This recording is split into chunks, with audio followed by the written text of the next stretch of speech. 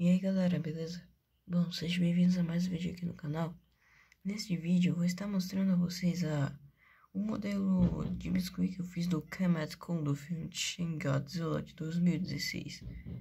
Esse aqui foi o personagem que eu fiz de agora. Na verdade eu já tinha feito há mais ou menos uns dois anos atrás.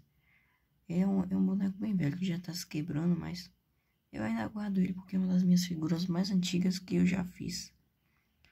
Foi uns dois anos atrás que, né, como já dito, eu tinha começado a fazer as, o Shinagakun, que é a forma secundária dele.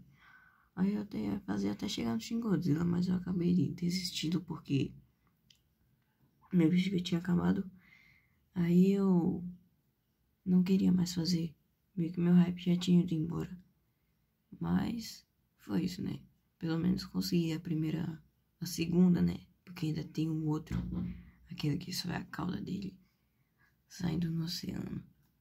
Mas foi isso, gente. Valeu pelo vídeo e vamos lá, rumo aos 100 inscritos. Falou!